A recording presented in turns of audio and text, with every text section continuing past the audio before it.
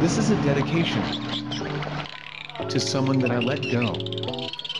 I made a mistake and I regret it so much. Girl, I left you for a burrito chip. I ate it and it wasn't even that good. I want you back right now. Without you all I do is frown. There's nothing better